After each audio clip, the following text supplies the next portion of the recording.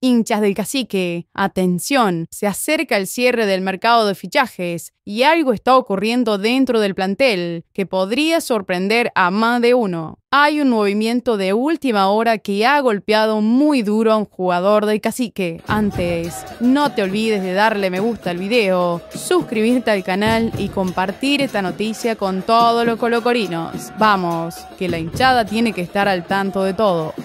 Ahora sí, entremos en materia. A solo días de que se cierre el mercado de fichajes este 8 de agosto, la gran incógnita gira en torno a Omar Carabalí, el arquero chileno ecuatoriano, quien estuvo a punto de fichar por Audax Italiano. Finalmente se quedó en Colo Colo. Según fuentes de En Cancha, diferencias salariales y contractuales fueron las responsables de que el traspaso no se concretara. Así, Carabalí continuará siendo parte del cacique, pero con un futuro bastante incierto. El panorama para Carabalí no es alentador, con Brian Cortés, Fernando De Paul y Eduardo Villanueva por delante en la lista de preferencias del cuerpo técnico. Parece que su única oportunidad de ver acción serán amistosos a puertas cerradas. Y ojo, que en diciembre se quedará con el pase en su poder, pues su vínculo con Colo Colo llega a su fin. ¿Será esta su última temporada en el club? ¿Podría alguna oferta de último minuto cambiar su destino? Ahora les toca a ustedes, hinchas salvos. ¿Qué opinan sobre la situación de Omar Carabalí? ¿Creen que merece más oportunidades o es momento de buscar nuevos horizontes? Dejen sus comentarios. Queremos saber qué piensan. Y no olviden suscribirse al canal y darle like al video para estar al tanto de todas las novedades del club.